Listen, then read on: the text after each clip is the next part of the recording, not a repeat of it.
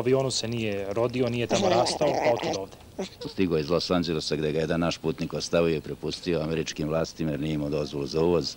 Tako da umesto da bude ubijen i zadržan tamo, mi smo zahtevali da majmu bude vraćen kako bi ga poklonili Zološkom vrtu u Beograd. Dok se naš sagovornik Bora opraštao sa Zlatkom, ostao je bez naočara. Cica ih je ukrala i odnela na drvo. Pretnje i nagovaranja nisu pomogle, pa su naočari vraćene tek kad je Cica izgubila interesovanje za njih i njen dragi, on se zove David, a ovo je gomila banana. Pretpostavljate šta će se desiti na kraju. Lijana, David, gomila banana, ko će pre, ko će više. Kladite se. Telefon za klađenje kvizu, ali čovjek koji je drži je svakako lice koje prepoznajete. Vuk Bojić Vuče, dobar dan, dobrodošli.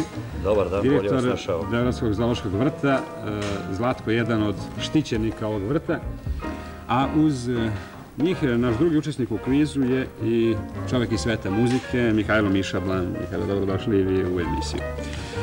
Elem, e, Zlatko je došao sa Vukom samo kao nastavak kladionice, tek da znate da smo se mi dovoljili još na početku emisije šta ćemo, da vas možda malo detaljnije upoznam sa drugim gostom, Mihajlom Mišom Blanom. Mišo, ljudi koji se bave muzikom vas i tekako dobro znaju. E, ima vas mnogo godina u mnogim žanrovima muzike od Beogradske filharmonije preko džez orkestra do velikog revijskog orkestra do malih grupa i naravno privatnu okupaturu raspevavanje. Da. Mislim da ste zaista mnogo, mnogo prisutni u našoj muzici i, i da, da ste se oprobali skoro u svim žanrovima. Da li nekom posebno preferirate ili je muzika generalno još uvek vaša ljubav? Znate šta, muzika je u principu zanatstvo, dakle, e, poenta je umeti baviti se što većim brojem muzičkih žanrova. Sad, lično opredeljenje uvek svako ima pravo na to, pa sad odabira po svom nekom nahođenju i ukusu ono sa čime bi volao najviše se baviti. Ja sam imao sreću da sam se eto probao u svim žanrovima, počeo od, kao što spomenuste, Beogradske filharmonije, pa preko Narodnog orkestra Radio Beograda, pa preko Big Benda Radio Beograda, pa eto malih grupa, do današnjih dana kada se bavite narodnom muzikom, što je, moram da kažem, povod vašeg gostovanja u našoj emisiji, ako možemo da napravimo tu razliku, analitičari pravi između povoda i uzroka. Da. E, narodna muzika je u stanju kakvom jeste, ne bih tu neke vrednostne sudove dao, mislim da, da je muzika onako kako narod zaslužuje, da je sasvim u redu i da je dobra. E, Skloni smo često da favorizujemo izvornu narodnu pesmu u odnosu na novo komponovanje. E, ja pre svega taj termin izvorna ne mogu mnogo da razumem iz prostog razloga što je ovo danas što se pravi za 50 godina će biti neki izvor. Dakle, neka selekcija, vreme će napraviti selekciju dobrog i lošeg. Ono što mene, na primjer, zabrinjava u narodnoj muzici, to je da svaki narod bi trebalo da ima svoj muzički, odnosno folk identitet. Ono što smo mi sjajno uspeli da izgubimo, to je upravo folklorni identitet, što nesumnjivo e, se može postaviti problem islamizacije narodne muzike koja je veoma opasan i veoma prisutan. Ne treba brkati dva pojma. Orijent koji je prisutan u našoj narodnoj muzici, Vranje, on ima svoja neka određena kulturološka i civilizacijska nasledđa. Ono što se danas javlja, to je jedan e, indigo islama protiv koga se apsolutno svim mogućim snagama treba boriti. Poznati su slučajevi da ljudi donose kasete iz, iz uh, Irana, samo su prepevi naši, odnosno tekstovi su domaći, a kompletna melodika, počev od trilera, preko skala koje se koriste, da, već, da ne zamaramo sa stručnim nekim analizama Nemojte, ja sam se već uplašio. Naravno, to je ono što, ovaj, što je opasno i gde, gde praktično je pitanje da li se to može nazvati narodnom muzikom. Gubljenje nekog identiteta upravo preko muzike koja je najpopularnija i najprisutnija u nas.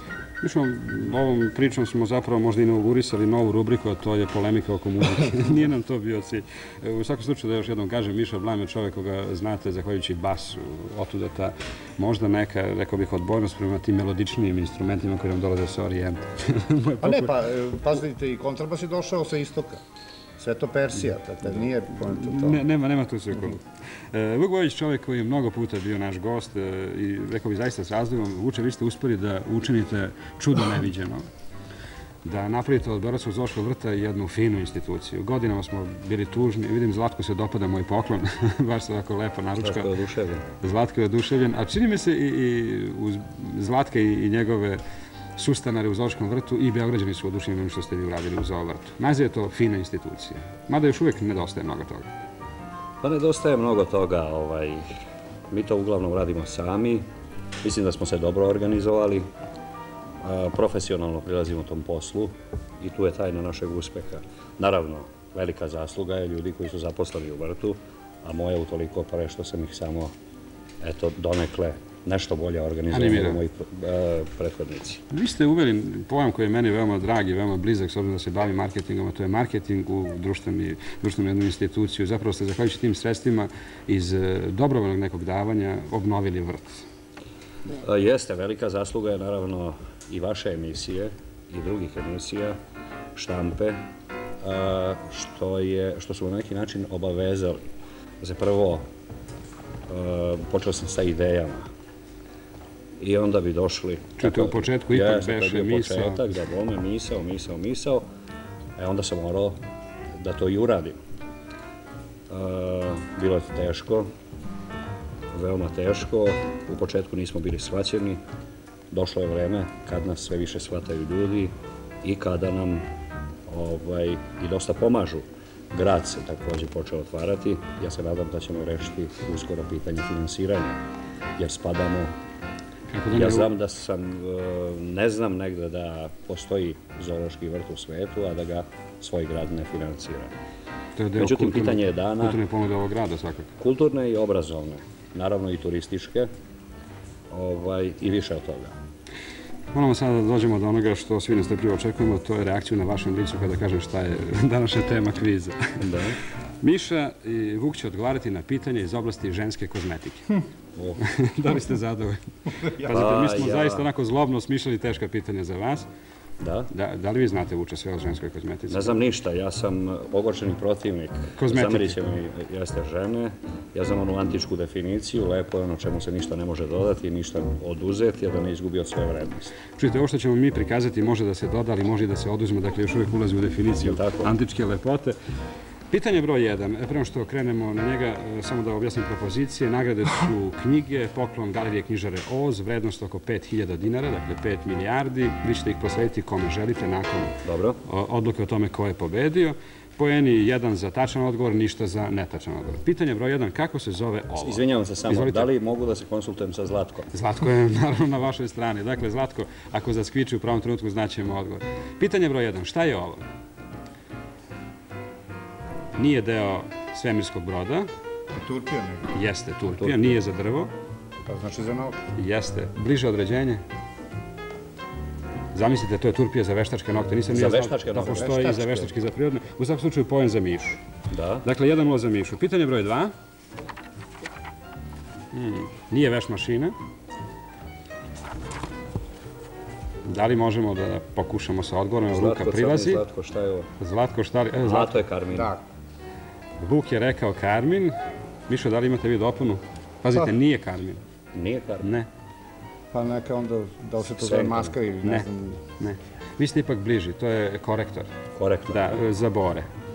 Znači, ni u kom slučaju ne ide u onu varijantu antičke lepote. Dobro, jedan jedan što se pojena tiče, a konzilijum je, evo, klimoglavom potvrdio moju odluku. Idemo na pitanje broj 3. Mhm, Šta li je sada ovo? Nije noćni klub.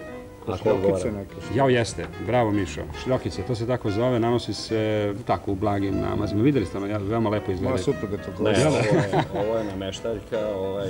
Navijam za Mišu. Da. Nije časna reč. Navija za Mišu, a Miši su pitanja sve znao njegove Ja sam zato, odgovore. zato a Zlatku što- dao bananu na početku kviza. Zlatko, Dobro, šta 2-1 je? za Mišu. Pitanje je broj, ne znam ko je već po redu, ja mislim da je 4. Četiri. Pitanje je broj 4, da, 2-1 za Mišu. Pitanje je broj 4.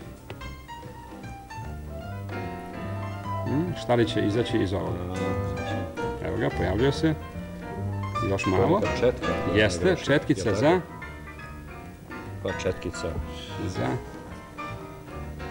za oči. Za... Nije za ispod. Ispod, ispod Da, oča. rumenilo A rumenilo. Za rumenilo. Konzilijum šta kaže? Kaže da, 2-2 u bodovima. Lea je odlučila ovog puta, moram reći, ne zbog svog glavljeg imena, nego zato što ona misli da ste vi u pravu. Sljedeće pitanje, broj 5, pitanje pomalo već za odluku. Ovog puta vam ništa neću reći jer je pitanje toliko teško da sam ja dva, tri puta gledao snimak. Dakle, pitanje glasi kako se ova čudna sprava zove. Nije deo od bicikla, Ja znam šta je to, samo ne znam kako se zove. a znate? Miša zna. To je za uvijanje onih ovaj, trepavica. Bravo, bravo. Ja sam mislio da to tačan nećete naziv. nikad znati. 3-2 za Mišu, vijev za trepavice. Vuče, poslednje šesto pitanje, izuzetno važno. Ukoliko pobedite, knjige pripadaju vama, odnosno onome za koga se vi odlučite. U stvari, to će tek biti nerešen rezultat, pa ćemo morati na dopunsko pitanje da idemo. Šesto pitanje, šta je ovo? Ovo je za sad taman ekran, ali ne, evo, popravila se slika. Dakle, šta je ovo? Tu će sada mačice stati naš kameru. To je Boris, neka mašnica za cipele. Bravo, prosto Je ne, tako? neverovatno vuče, iznenadili smo, zaista je mašna za cipar. Miša, da li ste vi znali? Zlatko? Pa, sad, sad da, ali... Da, da. je bude Možemo da pogledamo još jednom ovaj nastavak je razjašnjenje, zapravo smo mislili da niko to neće znati. Da vidimo, mislim da postoji još jedan tejp, na njemu je, odnosno jedan snimak gde su ove mašnice na cipeli, pa je to razjašnjeno u stvari. Ne, izgleda nije. Šteta. Hteli smo da, da to, a ne, to je isto, isto ono što smo malo čas videli. Pa ne bi bilo pravog pitanja kad bi bilo razjašnjenje. I ovo jeste, evo to je intervencija Peđa iz studija, našeg reditelja, e, nerešeno 3-3. Tri. Predlažem solomonsko rešenje, e, bez pretenzije da budem Solomon, da podelimo knjige. Da li ste vi za? Ja imam predlog koji će... Možemo li da pogledamo dok razmatramo šta ćemo s knjigama, da vidimo ko nam to daje knjige. Galerija knjižara Oz, e, sad ćemo vidjeti snimak, ovo je inače ekspozitura u Mirjevu, e, jedna od mlađih, ali veoma lepih knjižara. Vidite, to su te knjige koje mi delimo iz nedelje u nedelju, vrednost je rekoh 5000 dinara. Mišo, vi ste imali predlog? Kome da damo? Pa mislim, e, pošto praktično gospodin Vuk i ja delimo te knjige koje dobijamo, Da. pa Vuče šta mislite da to damo nekom? Recimo, O zajednički da vi date trećem licu. Da, to je, to je lepa ideja. Evo, ja još da dodam nešto. Ja ću uzurpirati samo upravljanje, ali kao direktor moje radne organizacije dodat Mislim ćemo da, da smo dosta videli knjige, možda da pogledamo kako se, Zlatko, kako se jede košulja upravnika Zlatko. Zovrt. Evo vidimo Zlatko to upravo radi. Recite, Vuče. A, kako se zove? Moja radna organizacija a, će dati još 5 milijardi bol, bolnici za u. Jasno. Bravo, hvala vam. I znači ove knjige, Znači, vrednost je Sjajno, a 8 evo, milijardi i 5. sad ste mi dali jedan šlagvort, ja ću, na primjer, kad god je to ovaj, u dogovoru sa bolnicom, moguće održati, ja ću da im spremim jedan dosta atraktivan program za decu.